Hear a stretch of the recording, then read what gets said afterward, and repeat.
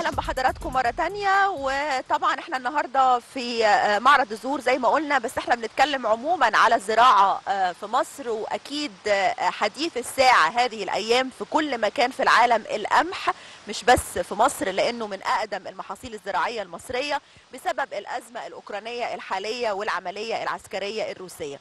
كل ده فتح باب الكلام على مستوى الشارع حتى آه، إلى أي مدى مصر عندها اكتفاء ذاتي من القمح. آه، محصول القمح عندنا في مصر إيه؟ مميزاته آه، الفترة القادمة بسبب الحرب في آسيا الروسية. آه، آه، العالم هيواجه إزاي نقص القمح اللي كانت أوكرانيا من أهم مصدرينه وروسيا كمان؟ كل دي أسئلة آه، بتجول في ذهن المواطن المصري. زارع القمح منذ قديم الأزل زي ما بيقولوا. معانا آه، لمحاولة الوقوف على آه، إجابات كتير آه، في هذا الموضوع دكتور رضا محمد علي مدير معهد المحاصيل الحقلية ورئيس الحملة القومية للقمح صباح الخير يا دكتور. خير يا فندم. آه عايزين نعرف الأول موقف مصر في زراعة القمح حاليا إيه؟ إحنا عارفين طبعا إنه محصول مهم جدا وأساسي من مصادر الدخل القومي بس حاليا إحنا موقفنا إيه فيه؟ آه، بسم الله الرحمن الرحيم. الأول كل سنة وحضراتكم طيبين. أيام قليلة إن شاء الله ونستقبل الشهر الفضيل على يحوم علينا وعلى الشعب المصري وعلى الأمة الإسلامية كلها بكل خير. وأيام قليلة إن شاء الله وهنستقبل آه، موسم من حصاد القمح إن شاء الله في أول أربعة. آه، استعراض بس بسيط إن شاء الله على الرغم من التحديات اللي موجودة على العالم كله من جائحة كورونا لحد ما اللي حصل بالنسبة للظروف المناخية اللي بتأثر بيها لأكبر قطاع بيشهد فيه تأثر بالظروف المناخية اللي هو القطاع الزراعي. ثم بعد ذلك أخيرا التداعيات الحرب الدائرة من روسيا وأمريكا وأطلت بظلالها على جميع أنحاء العالم واقتصادياتها وعلى الرغم من ذلك إن القطاع الزراعي بيشهد تحسن في السنوات الأخيرة. آه، فخامة الرئيس بيف بي بي بي بيولي اهتمام بالمحاصيل الاستراتيجية وعلى رأسهم طبعا القمح. القمح في مصر الحمد لله يمكن السنة اللي فاتت كانت المساحة المزرعه 3.4 من 10 مليون فدان. السنة دي تقريبا اتزرع حوالي ما يقرب من حوالي تقريبا 3 و650 ألف فدان. بزيادة ما يعادل حوالي تقريبا 250 ألف فدان. فخامة الرئيس أولى اهتمامه قال لك السنة الجاية عايز ما يقرب حوالي 500 ألف فدان زيادة. السنة اللي بعدها تقريبا مليون فدان. آه، بحسبة بسيطة كده إن شاء الله في خلال سنتين اللي إحنا متوفقين معاه مع سيادة الرئيس وعملنا خطة اللي إحنا إن شاء الله هنوصل بالوضع كده إن شاء الله في خلال سنتين هنوصل بما يقرب من حوالي 5 مليون يقرب من حوالي 5 مليون فدان. دي تشكل تقريبا 70% إحنا زي ما إحنا عارفين ان إحنا بننتج تقريبا في فرق أو في جاب وفي فجوة ما بين الإنتاج والاستهلاك. إنتاجنا تقريبا ما يقرب حوالي 50% أو 55% من احتياجاتنا. ال 3.6 من عشرة اللي بنزرعهم دول تقريبا بيجيب حوالي ما يقرب حوالي 10 مليون طن. بيشكلوا تقريبا 50 ل 55% من احتياجاتنا. إن شاء الله لما نوصل بال5 مليون فدان في خلال سنتين وده إنجاز غير مسبوق ما حصلش من سنين طويلة يبقى بأوصل للحد الآمن أوصل ل 70% من احتياجاتنا. وده بكل شيء أو بكل المقاييس يعتبر إنجاز غير طبيعي في الفترة اللي جاية دي إن شاء الله. آه، ما حصلش قبل كده بأصبح لدينا رؤية بالنسبة للمحاصيل الاستراتيجيه وعلى رأسها طبعا القمح. القمح محصول مهم جدا على مستوى العالم آه، بي- بيشكل آه، مصدر طاقة للشعوب العالم كلها وبيولي اهتمام في شعوب العالم كلها. إن شاء الله في الفترة اللي جاية إن شاء الله بنوعد إن شاء الله نحقق التارجت اللي بنتكلم فيه في الفترة اللي جاية. 10 مليون طن الحمد لله بيشكلوا تقريبا ما يقرب من حوالي يعني ستة ستة من خ... من أربعة لستة شهور من أربعة هي- بيتوقع منا توريد ما يقرب من حوالي أربعة أو خمسة لستة مليون طن. السنة اللي فاتت كانت 3.6 من عشرة أو 3 3 ونص مليون طن توريد من من الكمية المنتجة كلها. السنة دي إن شاء الله متوقع ما يقرب من حوالي من 5 ل 6 مليون طن. وده الحمد لله يعتبر إنجاز إن شاء الله. وده يحقق لنا الاكتفاء الذاتي ده تماما؟ هيشكل طبعا بقدر الإمكان بقدر الإمكان. إحنا عندنا مخزون استراتيجي يكفينا ما يقرب من 4 ل 5 شهور أو من 4 ل 6 شهور الحمد لله إن جاء ال- ال- الموسم الحصاد إن شاء الله في خلال شهر اللي جاي في شهر 4 أو في نص 4 إن شاء الله. متوقع من ال 5 ل 6 مليون طن دول يشكلوا تقريبا من حوالي برضه 5 ل 6 شهور مخزون برضه استراتيجي. تمام. من نشكل أربعة لخمسة بيشكل من أربع خمس شهور. يعني ما فيش ما يدعو للقلق خالص بالنسبة لمحصول القمح في مصر لحتى آخر السنة. الحمد تمام. لله. طيب إيه مميزات القمح المصري يا دكتور؟ ال- القمح أصلا طبعا الحمد لله يمكن من أجود أنواع القمح على مستوى العالم. تقد تضاهي الاقماح الأمريكية اللي هي أجود أنواع على مستوى العالم. اقماحنا المصرية بتتميز بأنها صفات الجودة بتاعتها تضاهي صفات الجودة اللي موجودة في الاقماح الأمريكية. وده طبعا إحنا بننفرد بيه. وده طبعا مجهود يشكر فيه أو بينسب لقسم بحوث القمح التابع لمعهد المحاصيل الحقلية بوزارة الزراعة. الأقماح بتاعتنا الحمد لله يمكن منتشرة وده اللي إحنا من إحنا بن بنكفله أو بنوفره للمزارعين من ضمن الخدمات اللي بتأديها وزاره الزراعة إن إحنا بنقدم لها دايما أصناف بتتميز بالمحصول العالي ومقاومتها الامراض أصناف جديدة. ال ال ال أصلا المساحات اللي المفروض تنت...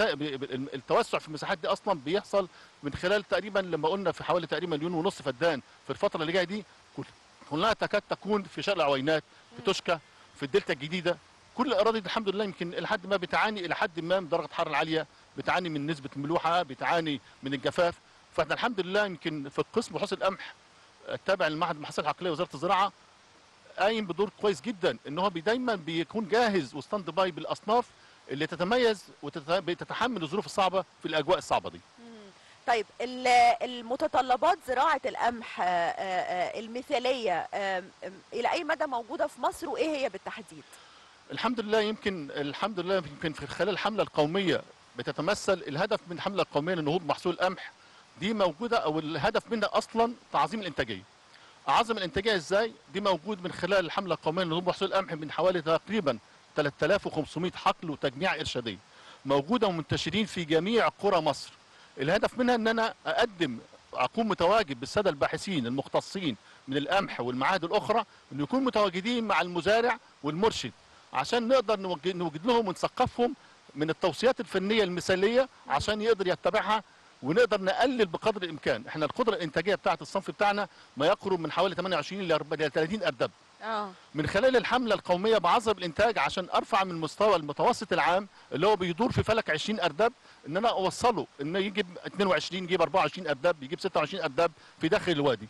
يجيب من 18 ل 20 اردب في خارج نطاق الوادي في الأراضي الجديدة. دي مهمة ال- ال- الحملة القومية المنتشرة وده بيتم من خلال حملات اللي بتتم من الحقول الإرشادية والتجمعات الإرشادية التجمعات والمدارس العقلية عشان نقدر نوصل للمزارع التوصيات الفنية المثالية اللي يتبعها من خلال تواجدنا مع المزارع على مدار الموسم من بداية الزراعة لحد الحصاد. تمام. طيب آه عايزين نفهم من حضرتك آه دورة زراعة القمح يعني بيتزرع في شهر كام؟ ويعني آه آه، المراحل كده اللي بيعملها الفلاح لغاية ما يحصد في النهاية.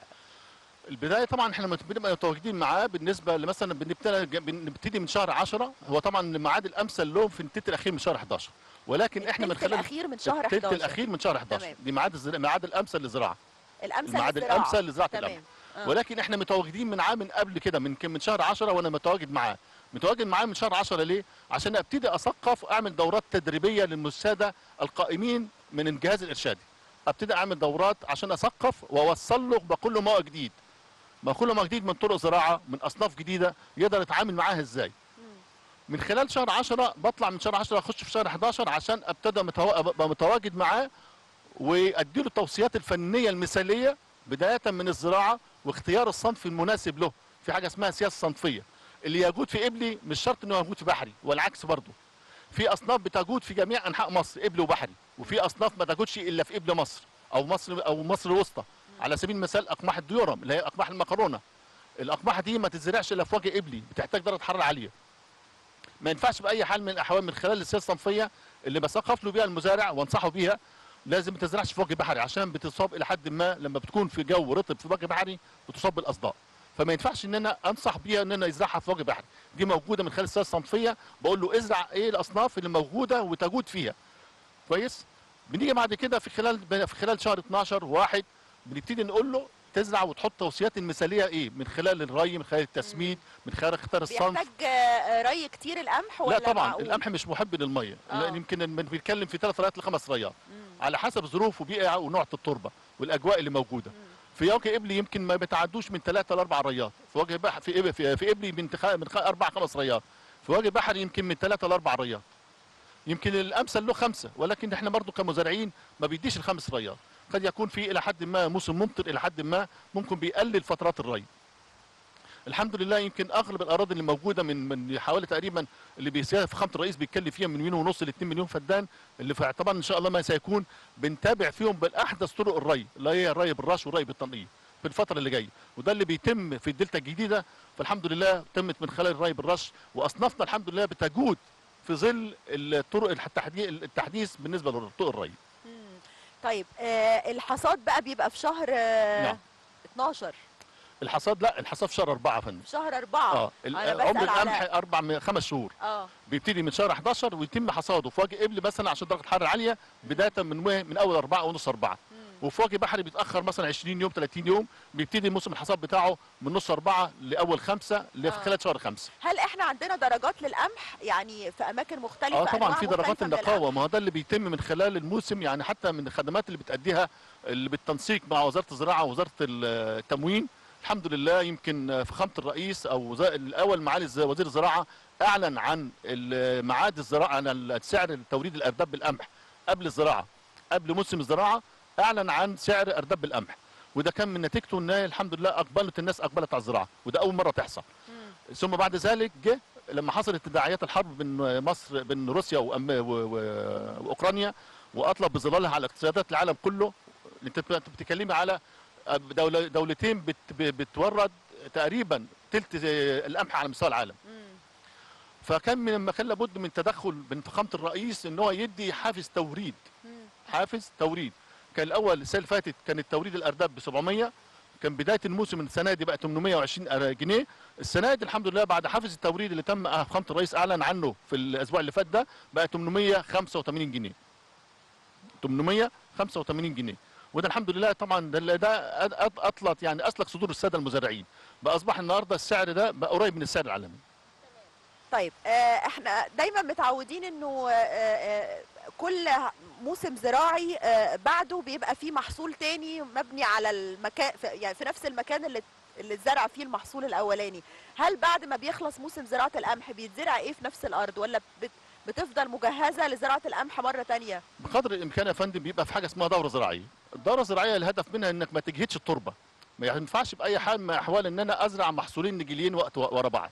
لازم أنا أدخل محصول بقولي عشان يقدر ويربي له مردود على خصوبة التربة. على سبيل المثال مثلا أنا زرعت قمح السنة دي السنة اللي جاية أزرع المف... يفضل إن أنا أزرع برسيم. إن أنا أزرع برسيم. أو أزرع بق- بقول أو فول لا آه. ما هو ده يعني لحد ما الشتوي اللي بعديه آه تمام. ما ينفعش أزرع قمح ورا قمح. بقدر الإمكان أزرع عشان أقدر أعمل عملية خصوبة لما إن الدوره الزراعيه الهدف منها إن أنا أسترد خصوبة التربة. ما ينفعش أزرع محصولين نجيلين ورا بعض. قدر الإمكان. يعني أزرع زراعة رز أزرع بعد منها قطن أزرع ذرة. يعني يبقى في دورة زراعية ثلاثية أو ثنائية عشان الهدف منها إن أنا أخصب التربة. طيب أنا كنت سمعت إنه القمح الأوكراني اللي إحنا كنا بنستورده كان بيحتاج معالجة ما علشان آه، يناسب المذاق المصري ف أو ال... يبقى قريب من القمح المصري. لو تشرح لنا الجزئية والله يا دي فندم. إحنا الحمد لله قدمنا حتى يمكن ب- من ضمن البدائل أو الاقتراحات إن نقلل من استهلاكنا أو نقلل استيرادنا عملنا حاجة أكتر من دراسة. يعني كان في ورشة عمل في الفترة اللي فاتت في مركز البحوث بالجهات المعنية باكتر من جهة. الهدف منها برضو عملنا اقترحنا إن إحنا نعمل حاجة زي المخاليط مخاليط مع القمح. كان زمان مثلا ممكن ما في مطحون بنسب معينة من خم- من 15 ل 20% ذرة و80 أو 85% قمح وكذلك من الذرة الرفيعة وكذلك بالنسبة للشعير. دي مخاليط من الثلاث محاصيل دولت بالإضافة للقمح. والحمد لله يمكن في خلال الفترة اللي جاية ديت إن شاء الله هنبتدي في سيز التنفيذ منها في الفترة اللي جاية. إيه، دي حاجة. كنت بتسالي حضرتك على جودة الأقماح ال- الأوكرانية. تمام. الاقماح بتاعتنا تجود آه، يمكن في جودتها آه، بتجود على الأقماح الأوكرانية. يمكن لما بتيجي تيجي الأقماح المستوردة بنحط نسبة مخاليط من الأقماح المصرية مع الأقماح المستوردة ايا كان الجهة اللي جاية منها لأن أقماحنا بتفوق الأقماح المستوردة في صفات الجودة بتاعتها. طيب إحنا طبعا خطتنا ال- الأساسية حاليا هي الاكتفاء الذاتي يعني إنه ننتج قمح ما يكفي الشعب المصري. آه في ظرف قد إيه كده ممكن نصدر كمان؟ المفروض ما فيش يعني والهدف بتاعنا انت النهارده بقالك يعني عشان نقدر نكتفي ذاتيا أزرع المساحة المزرعه بتاعت مصر كلها مثلا في داخل الوادي أزرعها قمح وده مش هينفع ابدا. عشان أتوسع في داخل الوادي يبقى هيبقى على حساب محاصيل تانية لا تقل أهمية. انت النهارده في داخل الوادي في محاصيل مثلا زي البرسيم بالنسبة للانتاج الحيواني في بصل بالنسبة للتصدير في فول ففي محاصيل لا تقل أهمية. فكل ما هنالك انت عايزة تتوسعي على في المساحات القمح عشان توصلي للحد الآمن بقى زي ما قلنا سابقا من 70% تقريبا من احتياجاتنا. ده هيتم من خلال الأراضي الجديدة زي ما قلنا قبل كده وده اللي فخامة الرئيس بيتكلم عنه. الحمد لله أصبح عندنا رؤية إن أنا أتوسع في زراعة الوده بنسميه محور تنمية أفقي. إزاي أنمي البحر التنفيذي وإن أنا أضيف مساحات جديدة في أراضي جديدة عشان أقدر بقدر الإمكان أقلل من الاستيراد وأوصل للحد الآمن اللي هو 70% إحنا بقى لنا سنين طويلة بنشكل حوالي تقريبا 50 أو 55% من احتياجاتنا. لما نبقى في خلال سنتين أوصل ل 70% ده يعتبر إنجاز. ده هيتم من خلال الأراضي الجديدة اللي موجودة في توشكا موجودة في شرق العوينات موجودة في الدلتا الجديدة. والحمد لله بتأدي أداء عالي جدا بالأصناف بتاعتنا اللي موجودة اللي بتتحمل الظروف الصعبة من جفاف من ملوحة من درجة حرارة عالية. هو قرار آه، زراعة آه، محصول معين آه، بالنسبة لفلاح مالك أرضه يعني هل ده قرار الفلاح نفسه ولا قرار الدولة؟ كان زمان في دورة بتحتم عليه إن هو يلتزم بيها. دلوقتي في ظل الاقتصاد الحر النهارده لا النهارده الدولة يعني بتخ- سايباك تزرع اللي انت اللي انت بتزرعه أو اللي انت عايزه. وفق معايير برضه يعني مثلا في بعض المحافظات مثلا لحد ما زي محافظة المنوفية ما ينفعش بأي حال من الاحوال أزرع فيها رز ممنوع. ارض لحد ما ولكن ما دون ذلك ممكن تحسبا لبعض الظروف ان أنا بسمح إن هو يزرع إيه وما يزرعش إيه في بعض المناطق. إنما النهارده كان في دورة زراعية والفلاح المزارع أو الفلاح الناصح أو الواعي المدرك هو المفروض إن هو ما يزرع اللي. بقدر ما يستفيد منه وفي نفس الوقت الأرض بتاعته ما تجهدش ما تجهدش بإيه؟ إن أنا أدخل فيها دورة زراعية ثنائية أو ثلاثية.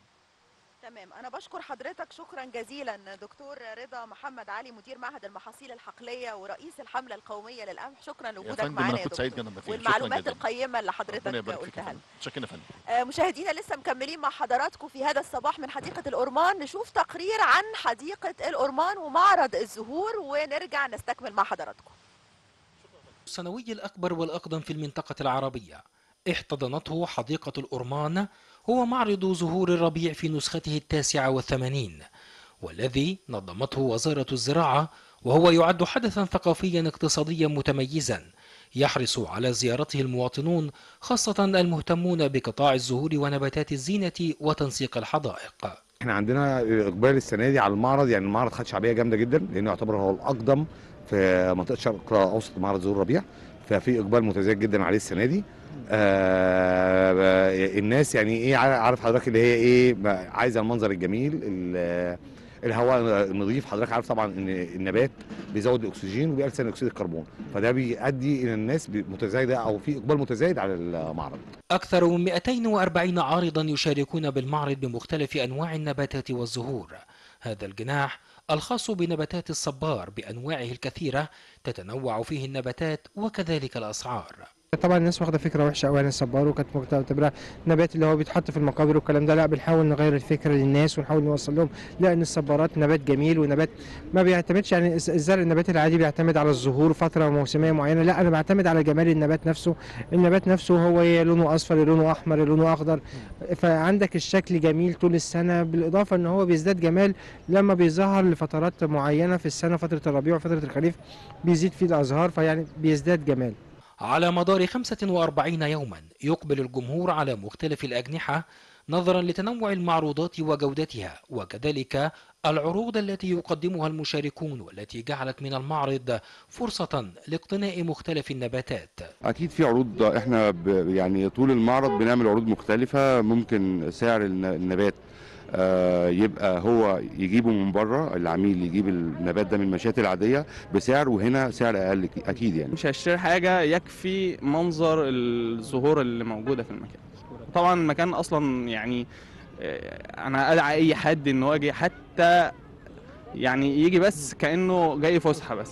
لا الجو جميل تمام شكل ال- الزهور جميلة. الناس اللي بتعرض أو الشركات هنا اللي بتيجي تعرض بالمزارع شكلها جميل جدا وفي نفس الوقت نغير جو. ولو فيها نقدر نتعرف عيد الأم بكرة. فزمايلي قلنا خلاص نتجمع ونيجي نشوف على أساس إن هي تبقى هدايا رمزية. هي مش مش حاجة ليها علاقة بعيد الأم بس هدايا تذكارية على أساس إن هي تفكرك بالمكان. فالصراحة المناظر هنا جميلة والشكل يعني أنا أشجع الناس كلها اللي هي تيجي عشان المكان بجد جميل جدا جدا. المعرض ينقسم إلى عدة أقسام منها نباتات الزينة الداخلية وقسم نباتات الزينة الخارجية وقسم الصبار والمسطحات الخضراء وقسم خاص بمستلزمات الإنتاج. على مدار 45 يوما تستمر فعاليات معرض زهور الربيع بحديقة الأورمان والذي يجمع مختلف أنواع النباتات والزهور بأسعار في متناول الجميع ويظل المعرض قبلة لكل عشاق النباتات في كل مكان. رمضان المطعمي. النيل